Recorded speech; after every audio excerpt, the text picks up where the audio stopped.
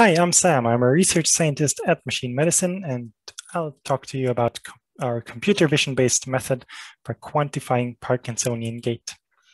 Gait or walking is, of course, a core motor function in humans, but it is often impaired in many neurological disorders, such as Parkinson's disease or PD, where it ultimately actually becomes a key source of the disability and affects quality of life quite a lot.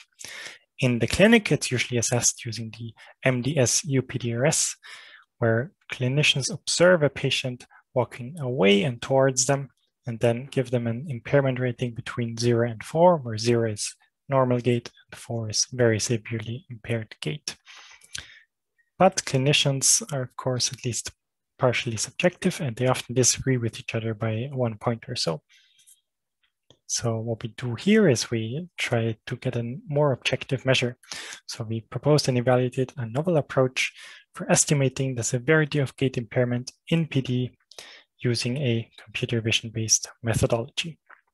So we collected 766 videos as part of routine MDS UPDRS assessments in various clinics around the world, and then trained the machine learning model to estimate the severity ratings using this data we used markerless pose estimation. So on each frame of each video, we track the patient with various key points. For example, a key point for the ankle, and then we saw how those key points moved around in time and used signals, constructed signals this way. And then from those signals, constructed features for example, by taking the median or the min or max or coefficient of variation of these signals. Finally, we put those features into an ordinal random forest classifier and it learned how to predict gait severity impairment. For example, one of our features was a step frequency estimate where we started off with a prior and then on each frame, we updated that prior with some data about their gait, which resulted in a posterior. And so after a few seconds, we have a good estimate of their step frequency. And we know it's quite good because we labeled a few videos and we, with this true step frequency, we see that our estimated step frequency corresponded very well to the true frequency. And also with our other features such as arm swing or balance or the smoothness of movement, we see the feature values, they differ quite a lot between different severities of gait impairment.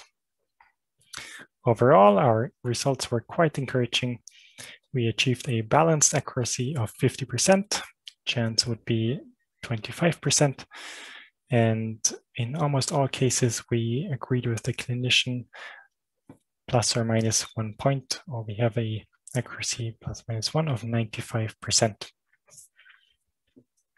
And as I said, clinicians also often disagree with one another, so that's uh, quite encouraging. We also saw a few interesting things, such as arm swing being a feature that's very important early on in the disease, so this to distinguish between normal and maybe a very slightly impaired gait but it's um, almost useless uh, during later stages of the disease where things such as speed or balance or smoothness of movement are much more important to distinguish between very, very severely impaired gait and maybe slightly impaired gait. We also sent a few videos to another expert to re-rate those videos blindly. without telling them about either the original clinician rating or the model rating. And we saw that for four of the five cases where our model had disagreed with the original rating by two points, the expert actually re-rated those examples to be more closely in line with the model rating. Overall, we show that we can estimate the severity of gait impairment in PD using a single patient video. These videos were recorded using consumer mobile devices and within standard clinical settings. This did not add any time or cost to those routine assessments as at those sites, those videos were already being recorded. So we believe this approach can support clinicians and be used for quality control of ratings by, for example, providing an objective second opinion. If you want to know more about this, please have a look at our poster or contact us at jonathan at machinemedicine.com. Thank you very much.